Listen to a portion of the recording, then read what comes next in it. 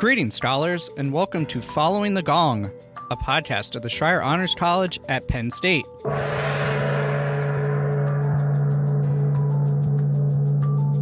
Following the Gong takes you inside conversations with our scholar alumni to hear their stories so you can gain career and life advice and expand your professional network. You can hear the true breadth of how scholar alumni have gone on to shape the world after they rang the gong and graduated with honors, and learn from their experiences so you can use their insights in your own journey. This show is proudly sponsored by the Scholar Alumni Society, a constituent group of the Penn State Alumni Association. I'm your host, Sean Goheen, class of 2011 and college staff member. If this is your first time joining us, welcome. If you're a regular listener, welcome back.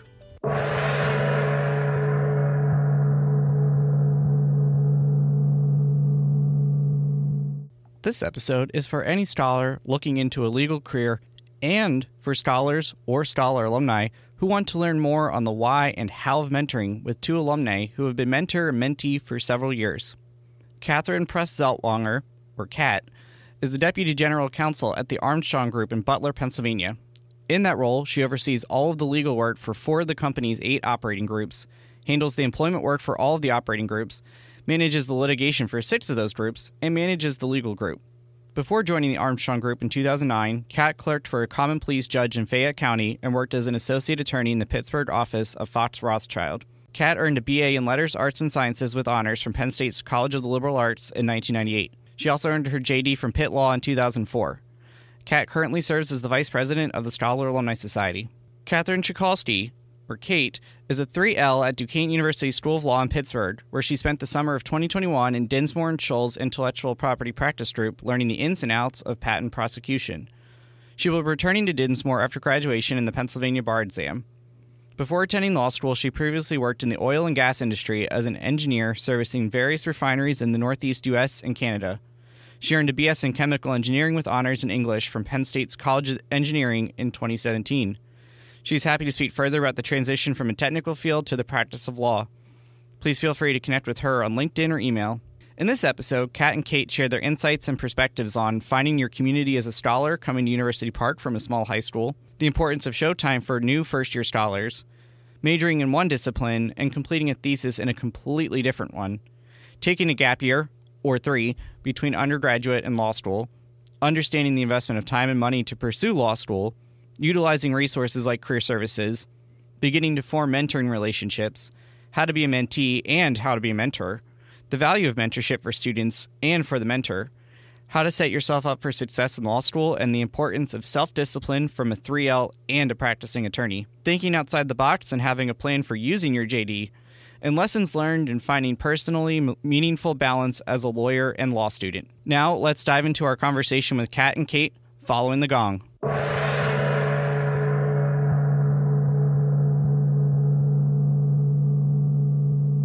Kat, Kate, thank you both so much for joining me here today on Following the Gong. This is our first episode for the spring 2022 semester. Going to kick things off with a conversation today really focused on mentoring. So I'm very excited to have you both here.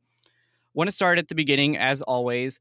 Kat, can you tell us how you first got to Penn State and the Schreyer Honors College and a little bit about your experience as a scholar? Sure. So I grew up in Centre County, so of course did not want to be at Penn State. No Centre County kid does. Um, but frankly, they gave me so much money, I couldn't not go there. So, uh, you know, that's how I ended up at Penn State. I got scholarships. And when you're paying for school all on your own, scholarships is really the key to everything. Uh, as for the Honors College, it was the University Scholars Program at the time. Mr. Schreyer had not given their gift yet.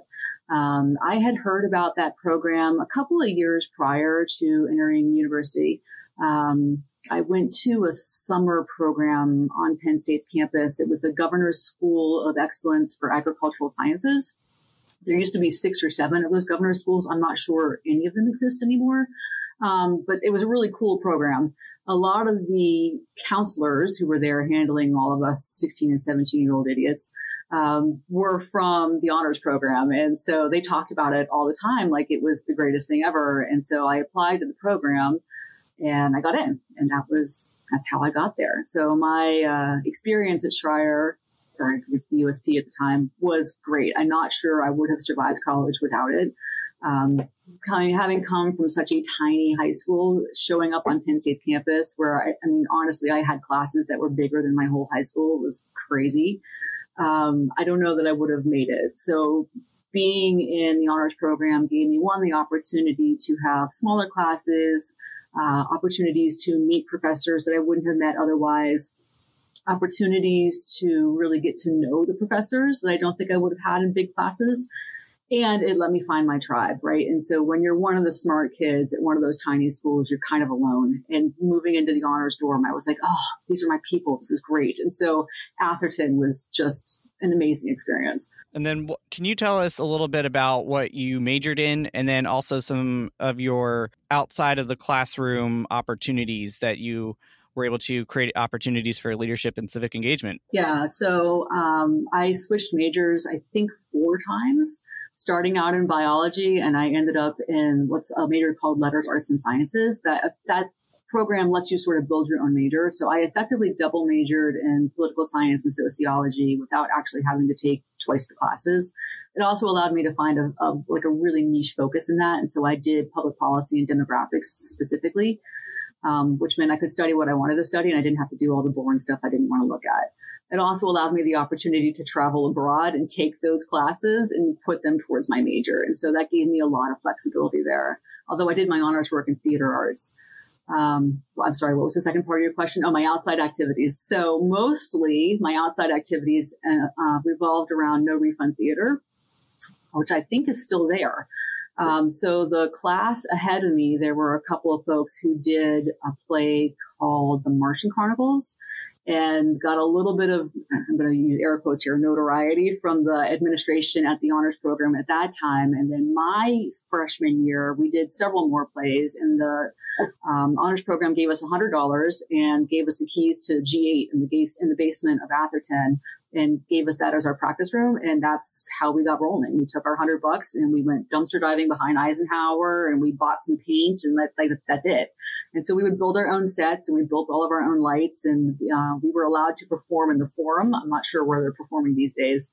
Um, we performed in the forum and we would do Shakespeare and Greek plays and stuff that we didn't have to pay uh, royalties on. And then we started writing our own stuff. And there were a lot of us that did our major our um, theses by writing plays or directing plays through that program. That sounds like a lot of fun. I remember going to no refund theater shows when I was a student. I'm pretty sure they're still around. So a great legacy that um, you helped build there, Kat, for a group um, like many of our groups on campus that have been around for decades. And I think that's really cool.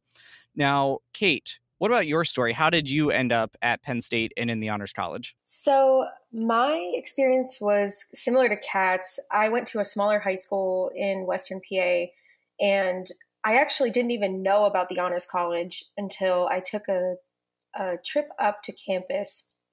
I remember it was like my junior year of high school, and I was with my, my aunt, and she took me up to visit the campus because she was actually a Penn State alumna and they handed us all of these like pamphlets when we were sitting i don't even remember it was probably somewhere in east halls.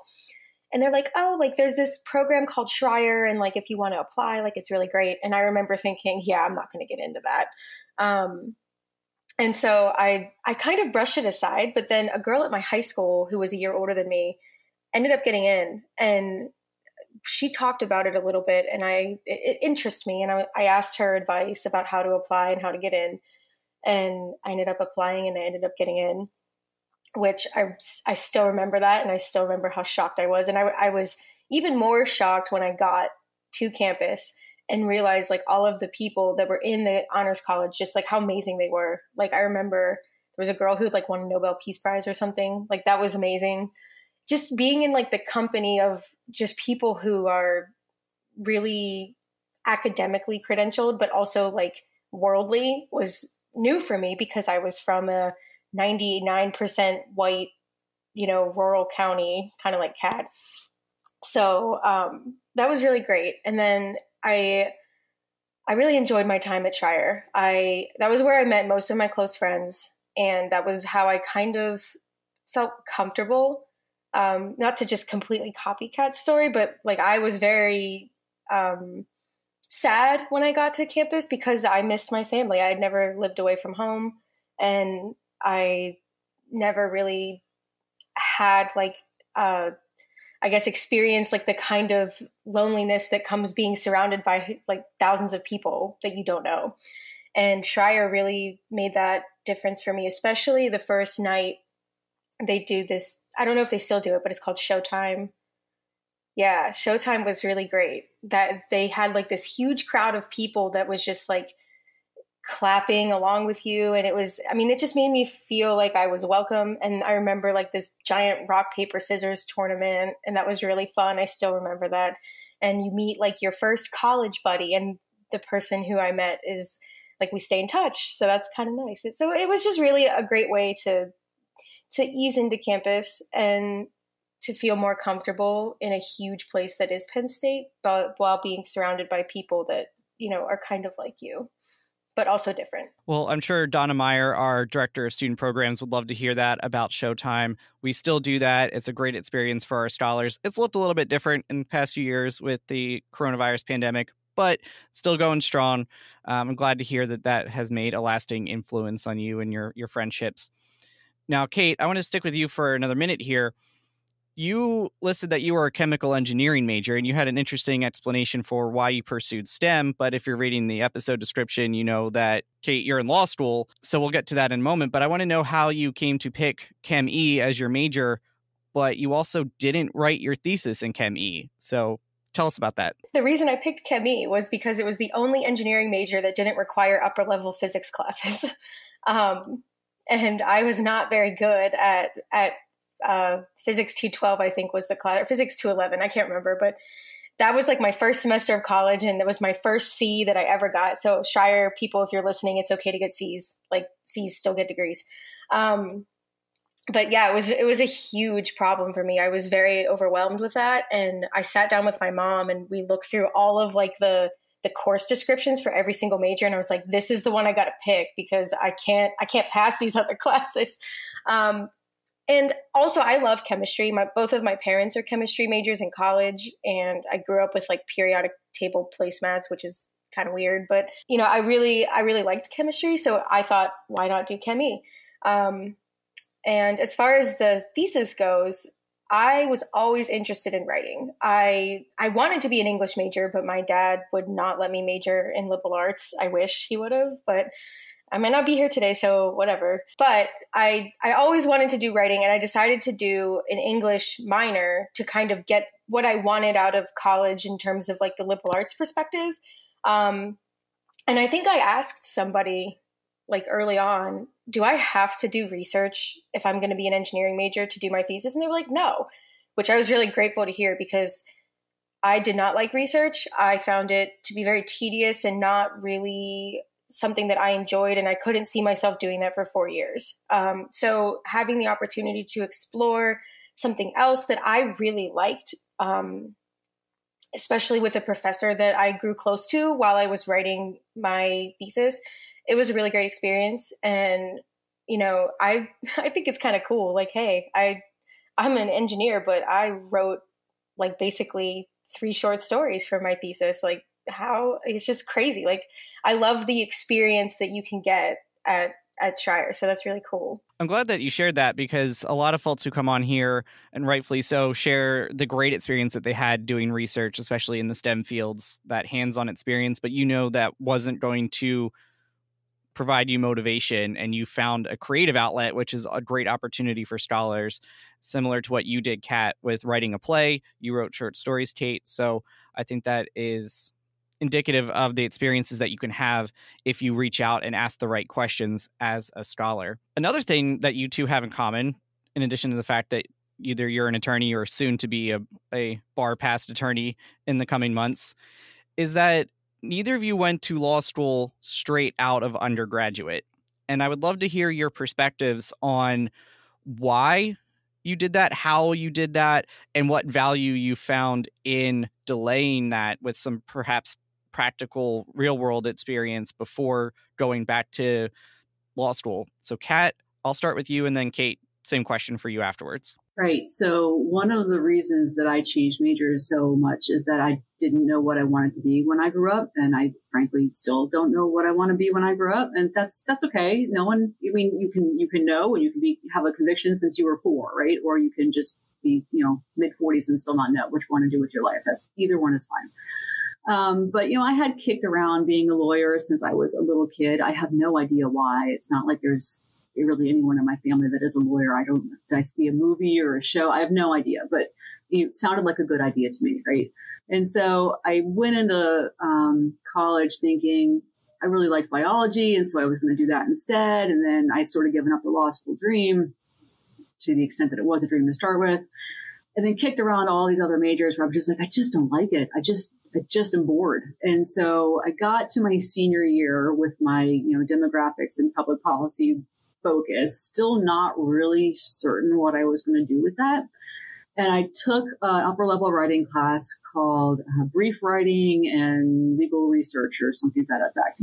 But it was taught by an adjunct who was a retired uh, litigation partner from Arent Fox in DC. Like the guy had been in front of the uh, Supreme Court multiple times and really impressive, really smart man.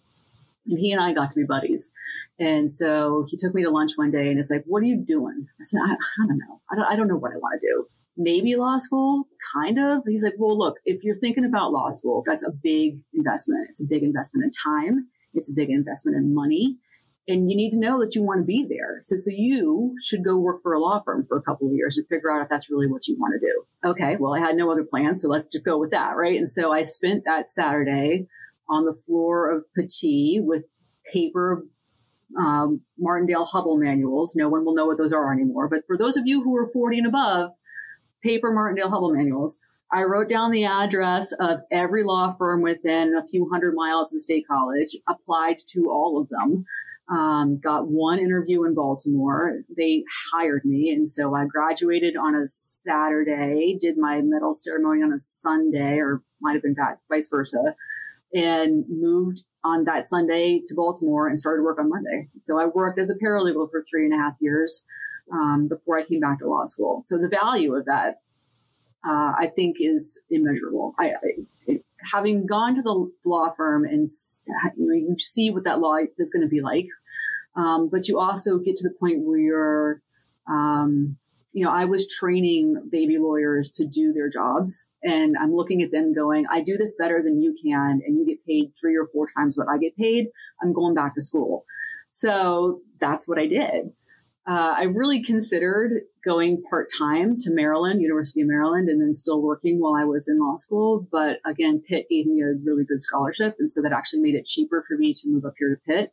Um, so that's where I went, and here I stayed. I have a similar sort of story, I guess. So I, while I was in undergrad at Penn State, I was supposed to stay and do research for my second summer after sophomore year, and I didn't want to, but I had no other job lined up, and I I felt like I had to do something that summer, and I was going to stay in state college and do research and then like I think like 3 weeks before the school like the finals week started, there was an email that goes around from Schreyer that's like jobs like alumni posting jobs. I can't remember exactly what it is, but the Schreyer like the Schreyer Honors College actually like gives Schreyer students like a, a way to apply for certain positions.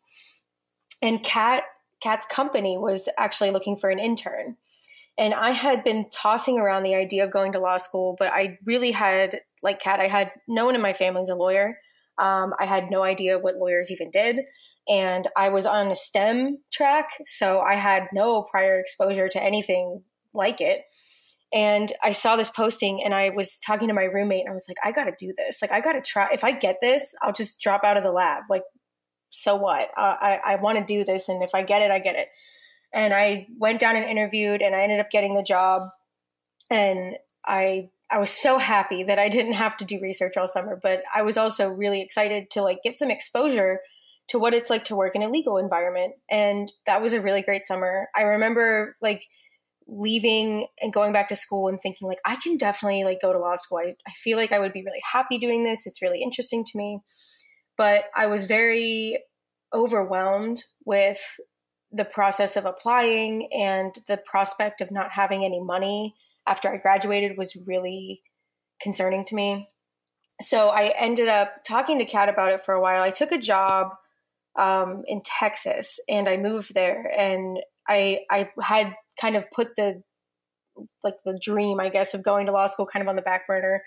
Um, I was working as an engineer and then I moved to Philly for the same job and I was still working as an engineer and I I didn't really love it. Um, it was interesting and I learned a lot. It was very, very insightful as far as like my field goes. I really enjoyed learning the things I actually it's interesting. I still use like a lot of the knowledge that I learned in that job, even though I I'm not an engineer anymore. It, it's very practical knowledge. Um, and so about a year and a half in, I just decided, you know what, I'm just going to apply. I'm just going to apply and see what happens. And I ended up getting into Duquesne um, with a very significant scholarship. And I knew that I wanted to go back to Pittsburgh. I had applied to like several schools, like probably 15 or 16, but I knew I wanted to go home. I knew I wanted to eventually work in Pittsburgh. Um, so I just, I, I took it and I ran with it. And I, I mean, I'm not a lawyer yet, but I'm, I'm so happy even with the COVID pandemic and all, I would do it all over again. So, Sean, to answer the second part of your question, because I'm not sure I did, um, I think it's super important to take time off between college and law school. And I preach this all the time. Every time someone comes to me and says, Oh, I'm thinking about going to law school, what should I do? I'm like, get a job get a job before you go to law school. There are, of course, struggles going back as a returning student. I mean, you've been an adult, treated like an adult and a professional with a job and a paycheck and all that. And you go back to being a student with assigned seating and required attendance. And you're like, really? I'm not 12. Um, but by that same token, you know, by the time I had gotten to law school and I'd only been out three, three and a half years, you know, I'd bought a car, I'd gotten into a fight with the landlord, I'd had, you know, life experiences, right? And so when you're sitting in contracts class and they're like, well, you're doing this and this, and this isn't actually a contract. I've read contracts. I've looked at them. I've seen what they are. I've been involved in them. Um, and then you've got students who have done nothing but be in school and they haven't had those life experiences. And I think it's really invaluable to come into law school with some sort of perspective outside of school. Just to just to echo that, I think as someone who's in school now and had taken two two three years off. Um, i feel the difference between me and my classmates my classmates who maybe went straight from undergrad to law school. Um, they're still going to do great and they're still going to be great lawyers. I feel like my experience was just invaluable because i know how to interview. I know how to talk to people in a professional setting um, and that is a skill. Like you don't realize how, you know, I cringe at some of the things that I did as like a 22 year old applicant to certain jobs. I'm just like, why did I say that? Um, and so like knowing that, that those practical skills are just so invaluable. And I also think it gives you some perspective on what law school is because it is a huge time suck. It is a huge financial investment. And even if you're not paying for it, and you're lucky, you are taking three years out of your life where you could be earning money. So either way, it's a huge investment, and you you need to understand, I guess, that you need to take it seriously. It's it's not just not that undergrad is a joke, but you can't skip classes. You can't. It's it's like a job, and having done a job before that, you have a much better perspective on how to treat that. And I think it was very very helpful. I I really am glad that I did I did take a couple years off. I'm glad that you both kind of talked about what our friends in the economics field would call the opportunity cost of attending law school that you are not earning, you are spending for those 3 years, but obviously the returns can be great if you are a really good attorney. So um, I appreciate that you both pointed that out. Now, you both mentioned the value of having that professional experience, and one way that you could probably get that is through an internship. And I want to go back to your internship experience, Kate, because you mentioned that's where you met Kat. And I want to know how exactly did you two get connected when you were working together?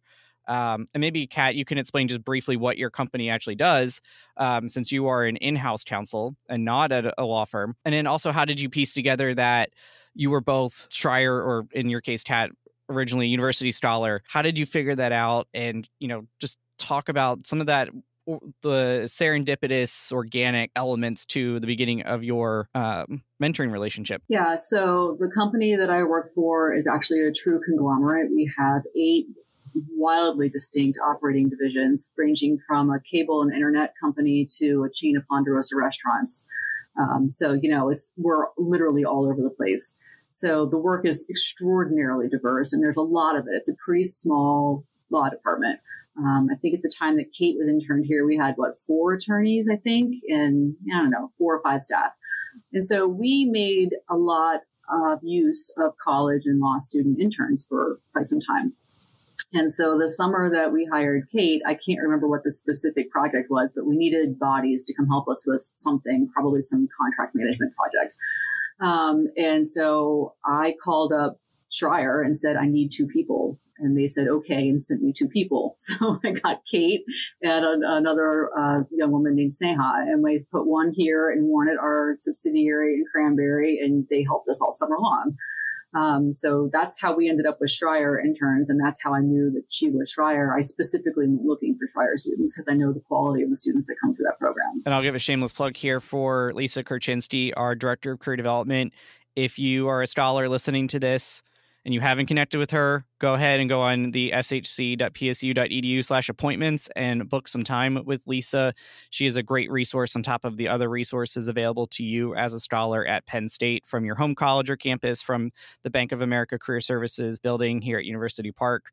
So just want to put in a shameless plug for that resource. And if you are a prospective student listening, these are the kind of things that can be available to you if you end up coming to the Schreyer Honors College. Yeah. So I remember like I said, I interviewed like I think it was like I was going to a wedding or something, and I I like stopped up at the office just to like interview. It was like a crazy time, um, and I remember Kat like we connected over our like Schreyer experience meet like mutually, I guess her she said she was Schreyer.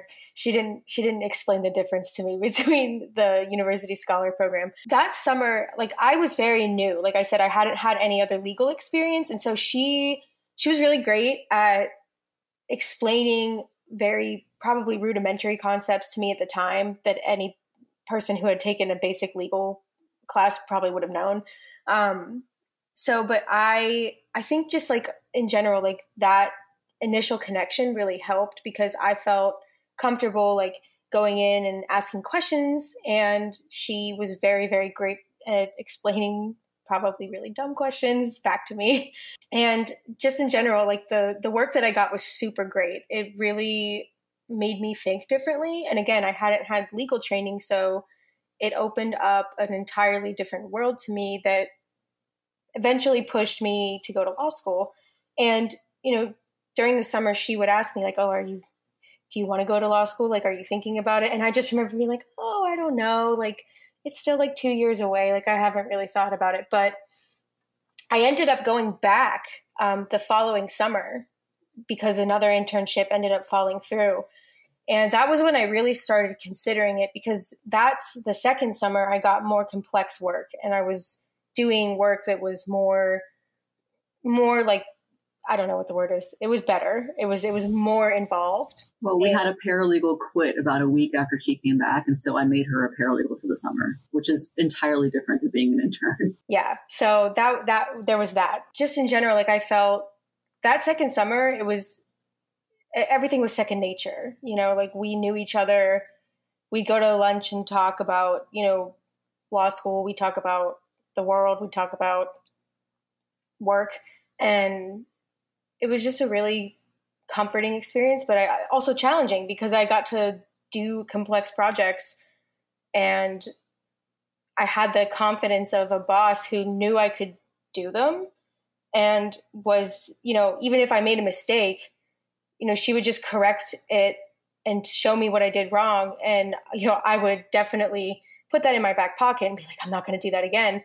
But that that give and take you know the the ability for someone to have confidence in you and and you wanting to do better the next time that is like so key to i think a good working relationship regardless of of mentor mentee but like that was a really solid foundation that we were able to build so kate kat was your supervisor for two summers, but obviously we're here today, years later, talking. So, how did you go about maintaining that relationship over the past few years once you were no longer an intern or a uh, suddenly promoted paralegal? It's hard for me to say because I feel like we honestly, it, it, was like, it wasn't really like I had to maintain it. It just was always there. You know, we'd email each other like every couple months, you know, hey, how's it going? How's school? How's work? You know, that kind of stuff. But then, you know, I think what really happened was when I realized that I wasn't happy at my job as an engineer, I reached out to her for advice specifically on how to handle a couple of things that came up.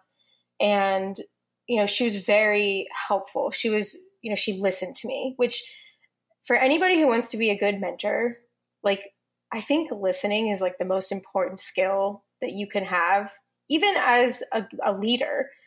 You know, actually listening to someone's problems is so important. And I think that's sort of when I started getting serious about going to law school and applying. And, you know, I was asking her a lot more. I was asking, I was getting in touch with her more regularly just because I had so many questions and didn't know what to do. And um, you know, that's I guess I guess the the answer to your question, Sean, is more that you shouldn't really have to maintain a relationship. I feel like if you build it correctly, it should it should be there such that you don't need to think about how to maintain it. It should just be there you know, constantly. Kat, what are your perspectives on this? You know, I think Kate made a lot of good points. You shouldn't have to maintain it. Um, our, our relationship grew kind of organically. And I don't know that either of us really worked at it or gave it much thought. It's just sort of how it went. And I don't know if that's just our personalities or the, you know, where we were in our lives at that point or whatever. But um, and it's been what, Kate, six, seven years at this point? A while seven or eight. I don't know. Something like that. I mean, I've had mentor, quote, formal mentor assignments from, you know, liberal arts college before, and some of them have been great, and some of them have been, you know, one or two meetings and that's it.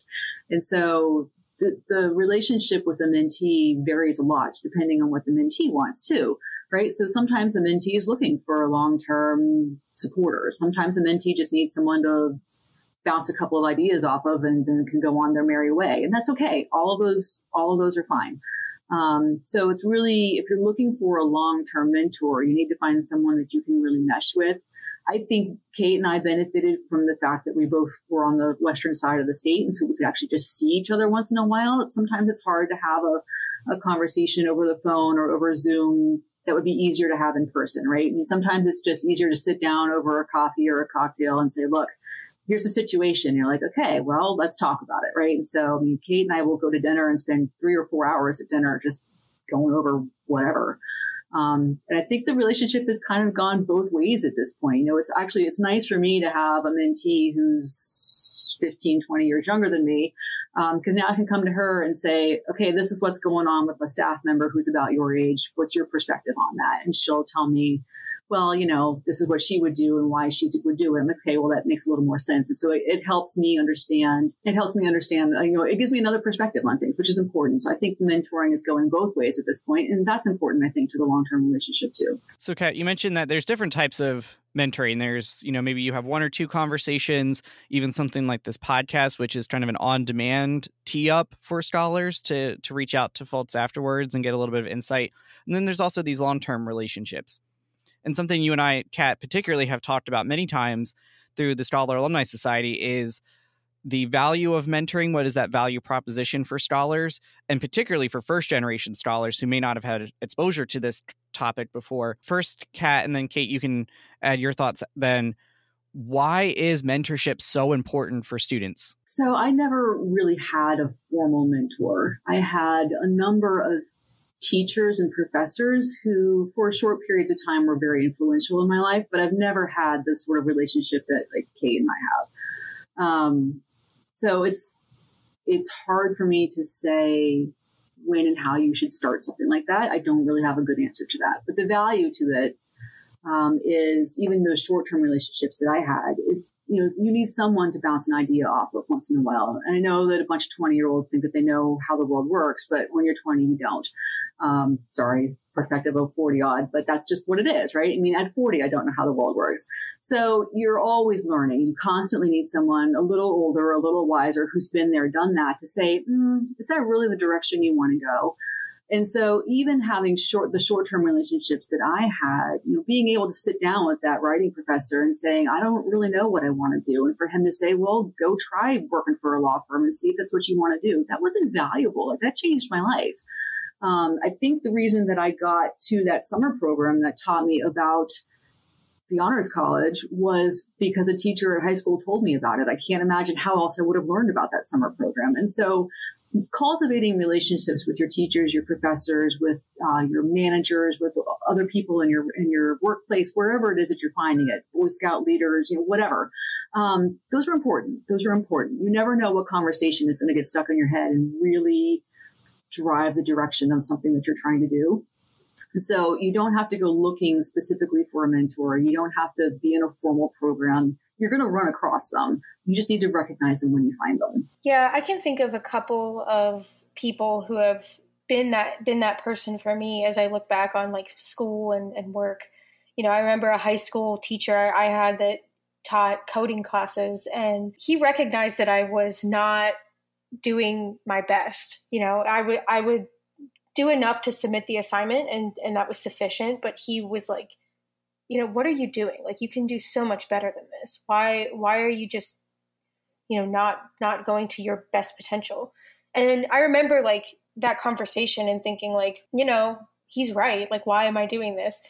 And you know, just a relationship like that, someone that I actually still talk to as an adult, um, you know, the, like those little ones that crop up. But then I, I totally agree with Kat. Like you're, I think the benefit of seeking them out in your everyday life or not even seeking them out but just recognizing them like she said i think that is that's the best way because the organic relationship i think is so fundamental. It's like the difference between like i don't know meeting someone on a dating app and like you know meeting someone in real life. I don't know. I can say that because i met my boyfriend on a dating app so no shame there. I just i don't know. I think the organic part of it is really important because that way you kind of get to know the person in a really unique way but also, there's no shame in seeking out, you know, hey, I really don't understand how to navigate this part of my young adult life. I don't know how to apply to law school. I don't know how to do better in interviews. I don't know how to do that. And, you know, you go to Schreyer and you say, I need to connect with an alumni who who can help me with this because they're in the real world and I'm still in school. And having that resource I mean, it's just amazing. Like, I can't, I don't know what I would have done without having those people in my life to sort of navigate me through maybe something I didn't even know was plaguing me. Yeah, the formal programs are useful for things like, you know, I'm a student or I'm a young professional and I don't know how to handle this particular program or this particular problem or whatever this issue is. What do I do? Um, and if you don't have someone in your life that you can go to and say, I, I don't know what to do with this, you know, my manager's doing this thing, I don't know how to handle it. And you're not at a workplace where you can go talk to someone else, some other manager, right? For instance, it's okay. I mean, it's great. The Alumni Association is great for that. Reach out to the, uh, to the Alumni Association or to Schreyer or whoever and say, look, I've got this issue. I want to talk to another professional who's been dealing with this. And they always hook you up. And I've talked to, I don't know, a dozen students over the year who have come to me with, you know, one or two issues that they just want to talk about for a couple of weeks. And those are great. Those are great relationships. It's, it's nice from the mentor perspective to help someone sort of think through a problem.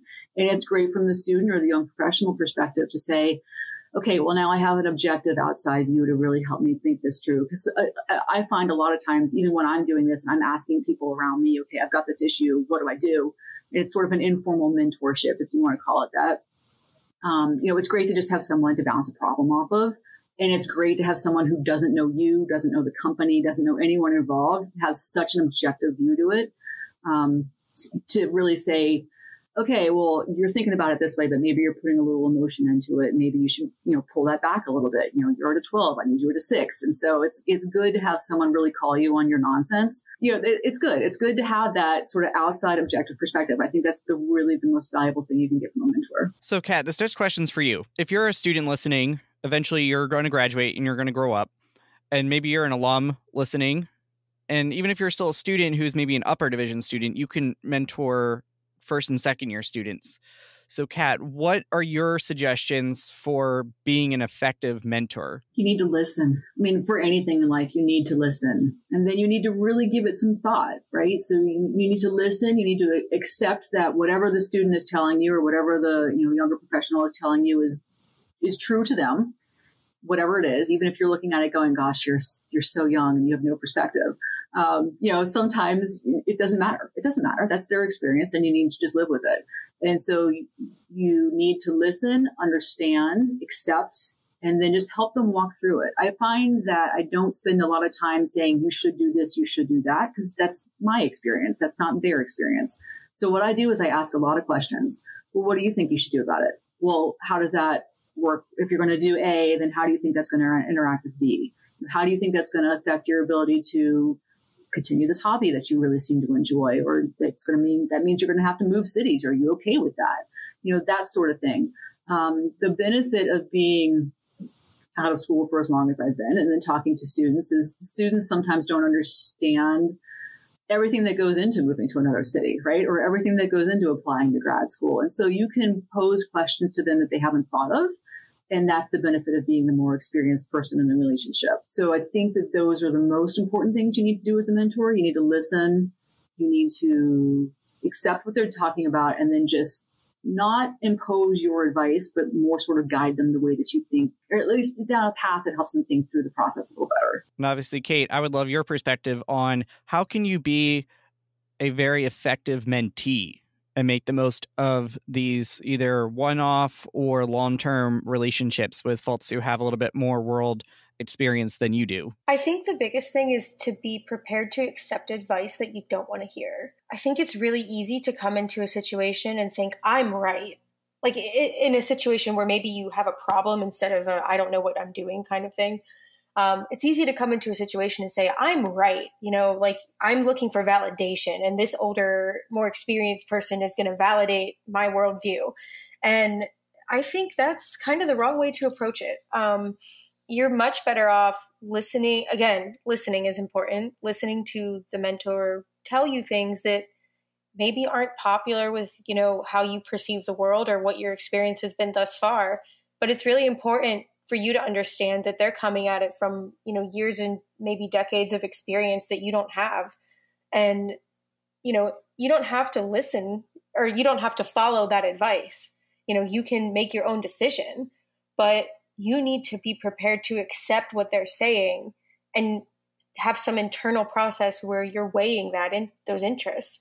You know there's a reason they're telling you what they're telling you and there's also a reason you ask them you know you're you're looking maybe for validation but also you know that there's another side to this that you might not be aware of. I would say that you know going in with an open mind is probably the biggest thing and being prepared to accept you know that there are alternative views on maybe the problem that you're experiencing or something you haven't thought of before. And it's really key to you know take that to heart. Knowing that i have an attorney and a, and a 3l on here with me. I'd love to just get some perspectives on the legal profession, on law school from you both. So, Kate, you're living it right now. You're a 3L. You're at Duquesne. You're in you're in your third year. You're getting ready for job hunting if you haven't already. You're getting ready for the bar.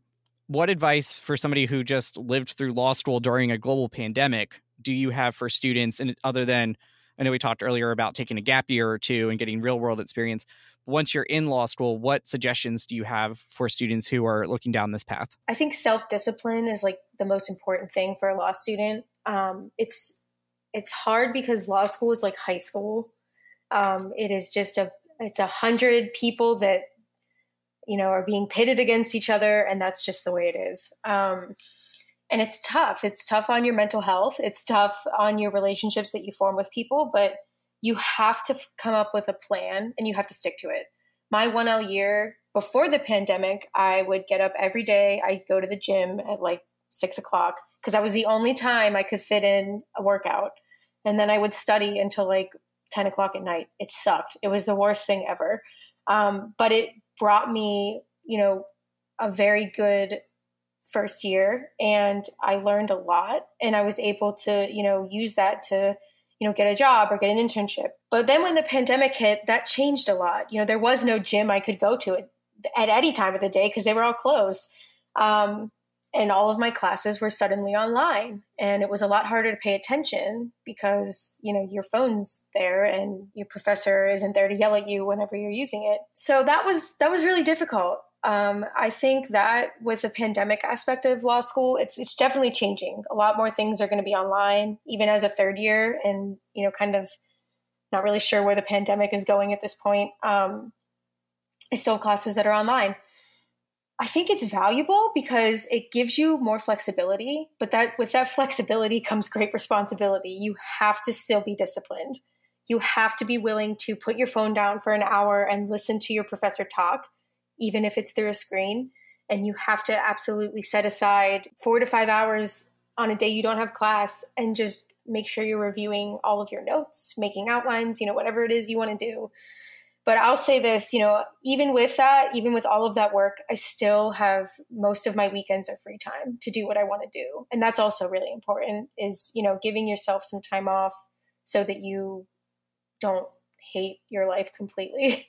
Um, I, I make it sound like law school is really awful, but it is really fun. You learn so much and, you know, i will be glad when it's over, but I also feel like it's just been a, a, really cool experience. And, you know, you'll never be in it again. So enjoy it while you can. And I think you could say the same of undergrad too. You know, you're you're an undergrad student once, so make the most of your your experience here. And then if you go to law school or medical school or another graduate program, make the most of that because you only do it once. Now, Kat, you can probably guess what I'm going to ask.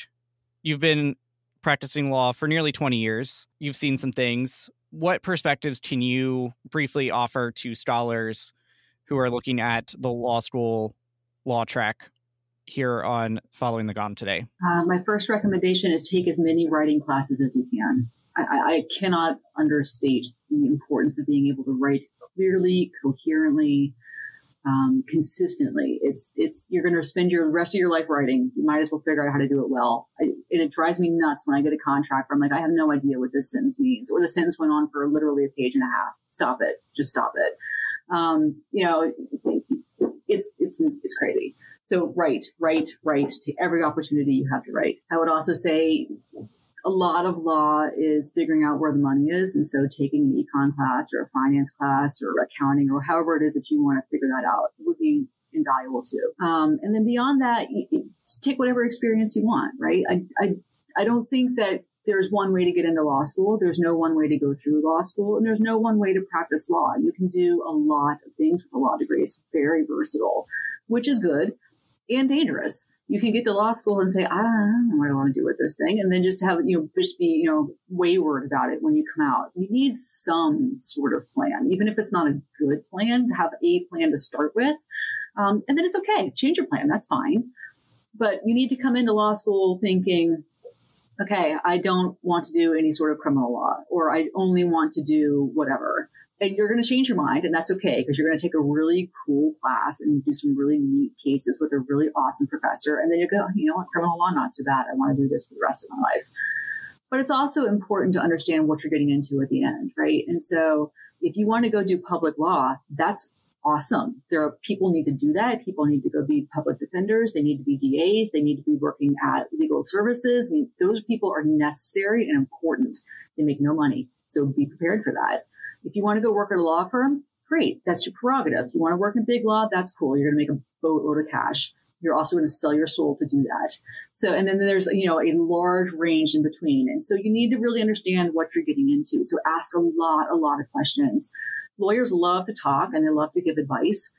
Go talk to a couple of law firm partners before you go to law school. Go have lunch with the DA. Take the public defender to lunch or coffee. Um, you know, do those sorts of things. We love to do that. Go to a bar association meeting. Find your local county bar association. Find out when they're having their local bench bar program and go. Lawyers love that. Um, so it's good to have a lot of perspective of a lot of different things when you come in because there's a lot of options. You could also do things that are not lawyer at all, right? Go be a politician, go teach, go to the military, do, you know, research with that law degree. I know a lot of lawyers, a fair handful of lawyers who then turn around and go to med school or do medical things. You know, now they're you know, nurses and JDs. Those people make a gajillion dollars being expert witnesses at medical malpractice lawsuits. You know, there are a lot of ways to use your JD be creative. Don't be afraid. There's always an option. Just here, there's in two that came to my mind where you could be an agent for a performer or an athlete or even folks here at Penn State who help with something we call gift planning, which is when you put Penn State in your will. There's a huge legal element to that. And Kate, I saw you raise your hand, so I want to turn the floor back over to you. I just wanted to say one thing that Kat mentioned. Um, you know, when you when you are a law student who hasn't had a real job, like a full time job between um, undergrad and law school, I think it's really hard to miss, or sorry, it's really easy to miss the like, what do I want to do with my life, and what does what does I want? What do I want to do with my life, and how does that impact what I want from my life? Um, as someone who worked for a few years, I understand what it's like to not have weekends available to you. Like the job that I had sometimes I missed a bachelorette party once and it was I I felt really bad about it. You know, like those kinds of things those are really important when you're working, you know, at a government job. Most of the time you're going to be working 9 to 5. You're going to be working 40 hours a week. Um, your pay isn't going to be that great. Your benefits are going to be awesome. And, you know, your but your you, your life will be there. And the same thing goes for law firms. Like if you want to make a lot of money and you know buy a really big house and do those things, that's awesome. But you need to understand that you know that might take away time for you to spend with your kids or your dog, um, you know, or go on vacation. You know, even though you're earning a lot of money, you don't necessarily have time to use a lot of it. So I just think having that perspective on you know what you can do with your life and what you want from your life those are two like sometimes they're at odds with each other and you really need to understand that going in. And somebody who has worked, you're going to have that experience because, you know, someone who hasn't, they see, you know, a salary at $200,000 out of law school and they're like, oh my God, I can't believe that. That's crazy. But what they don't understand is maybe they're going to be spending 90 hours a week at the firm. So just just some some practical advice. The other thing to keep in mind is that legal skills are legal skills and they're really versatile and you can take them other places, right? So if you want to start out at a law firm making a bajillion dollars and you get three years into it and you're exhausted because you haven't slept for three years and you want to quit and go be a DA, you can do that. You can take your degree and go do something else. So don't feel like you're locked into whatever it is that you're doing. It's not written in stone. And even if it was, just drop the stone, right? Just, you know, um, you know, you can go do something else with it. It's okay. Really good advice. We're in the tail end of our conversation here. All right, we're going to do some rapid fire questions here at the end. First, I want to know what is your biggest success to date? Feel free to brag as much as you want right here. Biggest success to date professionally is dragging my current law department out of the 18th century and into the 21st century. So we now have a legal operations almost backbone to our department. It took me a decade to do, but it's great. Everyone loves it. And uh, that took, was a lot of work, but it was definitely worth it. I guess for me, I don't really have like this great professional career, um, but I did recently pass the patent bar exam, which has like a really low pass rate. It's like super bad, like in the 30%.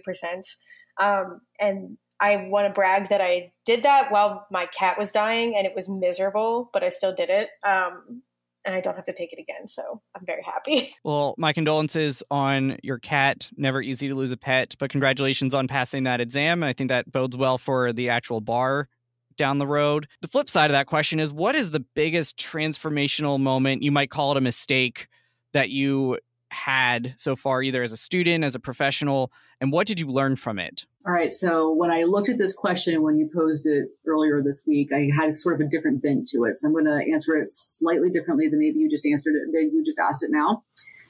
But I'm looking at it kind of as my biggest failure and what did I learn from it? So professionally, this is going way back. So my very first job when I was 14 was at a uh, little stand that sold ice cream and hot dogs and, you know, and so we had a, a down period at one point, and the owner says, "Okay, I'm going to go do whatever it was that she was going to go do. You guys need to take down the soft serve ice cream machine, clean it out while we've got you know this period where we think no one's going to show up. Here's the instructions.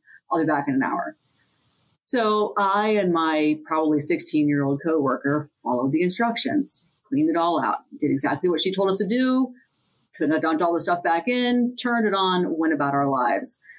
Didn't really think it through, right? You followed the instructions, and that's all you did. So a couple hours later, the softball team shows up, or little league, or whatever it was, wants ice cream for everybody, and we couldn't do it because uh, we hadn't plugged the machine back in because the instructions didn't say plug it back in. So here's my lesson from that. It doesn't matter what the instructions say. You have to think about it. You cannot just blindly follow whatever the rules are. This is tough. I, I when I looked at this question, I I not because I've never failed. Obviously, I failed, um, but it's tough to answer because I think there's a lot of experiences that that you can draw from that don't result in total failure. Um, but the biggest one I can think of is when I started my first real job out of college. I didn't understand the importance of speaking up and making sure that I was known. And um, I actually had a conversation that was not good with you know people who worked with me who were trying to tell me that I needed to you know make myself known in the company. And i needed to i don't know what the word is but i just i needed to make them aware that i existed. And i think it's easy when you're young to want to disappear and kind of learn from people around you by watching. But i think they were right. And i was very upset when they when they brought this information to me and they were like you know you really need to speak up and you really need to be loud. And i was like i don't like that. I like to be quiet. But i think they were right. Looking back on it even just like a few years later i remember being very upset. But what i didn't get from that conversation would have if i would have got into it with an open mind is that i should have i should have taken their advice and realized that it benefits me to be involved, even if I'm going to make a mistake as a young person, even if I'm going to say the wrong thing, even if I'm going to ask a question that is kind of dumb. Um, I'm going to learn from that. And people are going to know who I am and they're going to be able to work with me better. And so I would say, like, you know, it, it sucked at the time. It was really bad. But now, you know, as an adult, as a, as a more, I guess, older adult, um, I look back on that and I think, you know, hey, I should have I should have taken that advice. I should have I should have made myself known and, and let people know who I was. I think there was also another piece of advice in there, which was your coworkers were trying to help you and coming into that with an open mind as well. Always good to to pipe up. And Kat, I love your story about the the ice cream machine. Sometimes it's the most basic piece. There's the assumption in those instructions that you've already plugged it in. So think about what those um, implicit assumptions are in in any circumstance. Quick question for you as attorneys or rising attorneys, how do you find work life balance? Any tips for scholars and future law students? That's going to vary from job to job, right? So, one of the things you need to do is put up your own rails. So, if you don't want to answer emails after 7 p.m., then don't answer emails after 7 p.m. But if you decide you're going to answer emails after 7 p.m., then that's the way it's going to be, right? So once you set that expectation, that expectation is there.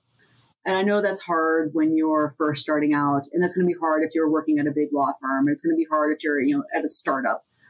But those are the trade-offs for the job that you're in. And so you need to figure out in your job where you can put those rails and then how those rails are best going to benefit your life. And then you need to hire help. I'm going to come at this from a different angle. Um, I think you need to make the people in your life aware of your responsibilities as, you know, an attorney or a law student in my case you know, my family has never had someone go to law school. They didn't understand that I can't talk to them for like two weeks during final exams. It's not like it's not like undergrad. Um, and I think you know, sitting them down and, and saying like, "Hey, look, you know, I I'm not ignoring you, and I'm not." Um, you know, set the expectation that that what you're doing is really, really key and important, and that you will not ignore them, but you will get to it at a certain time. And you know, I think if you set those expectations up early, then you know you have a better time when maybe you have to miss something really important. And you know that that's tough. If you don't want to do that like kat said you need to set that expectation for yourself. But if you have really important things that you need to do you need to let the people in your life know. Communication is really key. And if you don't tell them these things and they just you just miss you know your niece's birthday party or you know you don't respond to text for 5 days and they're like do you hate me? Like what are you doing? The answer is no but you you need to let them know what's going on. And so i think that's that's also a really key part of work life balance. I think that advice from both of you boils down to setting expectations and i think that's really helpful regardless of what industry you end up going into um, you as the listener.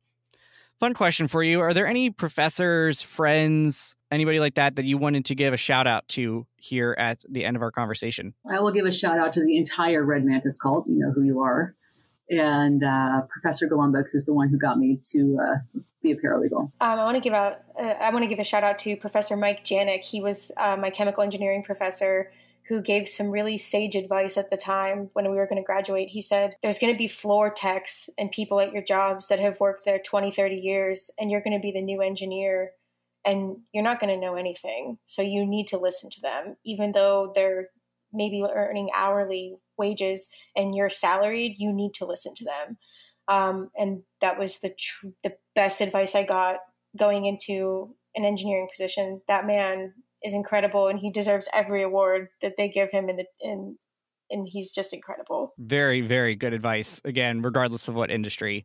And I think that boils down to just the Penn State value of respect. Speaking of advice, do you have any last burning pieces of advice that you wanted to share that maybe didn't organically come up in our conversation over the past hour? You know, just the value of asking for help when you need it. And even when you don't need it, just ask. It's okay. It's taken me 40 some years to learn that lesson, but it's important. You know, ask, just ask. It's okay. People will answer your questions. They're usually happy to answer your questions. Just ask. Along Kat's, Kat's advice, I would say, like, if you want to do something and you have no idea how to do it, that shouldn't deter you. That should just motivate you. Like, hey, I can do this amazing thing that I've never done before. It's going to be awesome. And I might screw up, but so what? I get to do it. Um, that's how I feel every day as a law student. I'm like, I can't believe I'm here. Like, I, this is what I wanted to do for so long. And I'm so happy. Even if I make a million mistakes, I'm here. And so go to law school, but only if you want to if a scholar wanted to reach out to either of you to ask for help, ask for that advice, keep this conversation going well past the end of the podcast episode, how could they connect with either of you? You can find me on LinkedIn. Same. LinkedIn's great. And if you're a regular listener, you know the last question that we're about to ask here. If each of you were a flavor of Berkey Creamery ice cream, which would you be? And most importantly, as scholar alumni, why would you be that flavor? So I thought about this and I think that I would be butter pecan because it's an old sort of traditional flavor and I'm an old sort of traditional soul. I'll do all kinds of crazy things. I am your crazy adventure friend. No one knows that, but I am. But uh, at, at the end of the day, I want to come home with some butter pecan. I want the soft serve vanilla with the blue and white sprinkles because it's classic, but it's also like it, it's the best. I, I, I, if I had to pick an actual flavor, I would be scholarship just because I think that's the most awesome play on words ever. No, at the end of the day, I'm kind of like Kat. I want my soft serve with the blue and white sprinkles, and I won't mix it. I promise. I won't put chocolate in there. If you're gonna have the soft serve, just make sure that Kat plugs the machine in first. Otherwise, you won't get your soft serve on time. Very Kat, important. Kat, Kate, thank you both so much for spending the past hour with us. I hope you were listening got something out of this. I know I did. Really appreciate all of your sage insight and advice, not just on the legal profession, but more importantly, the value of mentoring and how to go about doing that right. So thank you both. Thanks for having me. Thank you.